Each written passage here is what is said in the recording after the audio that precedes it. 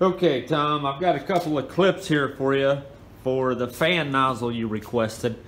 Unfortunately, it's been so windy out and so hot that you can't see the steam very well and that my pattern from the spray was getting blown around too much. So what I did is I just spray the concrete on my porch so that you can see the width of the spray pattern.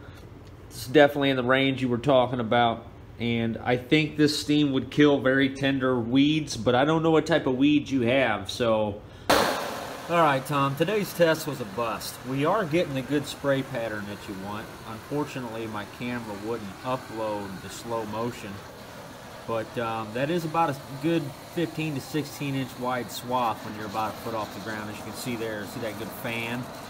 Got a nice fan to it. It's just hard to see in this heat. It's so hot out but the steam is hard to see. You can see there's a pretty good wide spray. That's probably about 12 inches wide there. So if you hold it up a little bit higher, it's going to be wider, obviously. With this little spot check I decided to test out, and uh, you can see it does change the color of that stuff. It's turning dark green pretty quick. That is some really hot steam there.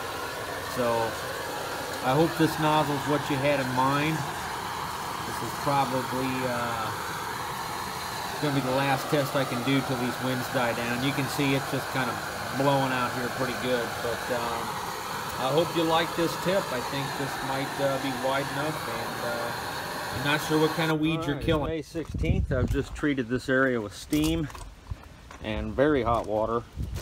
We'll see how this looks in a few days. And I'm hoping that that sank down into the seed bank and um, killed all the seeds as well.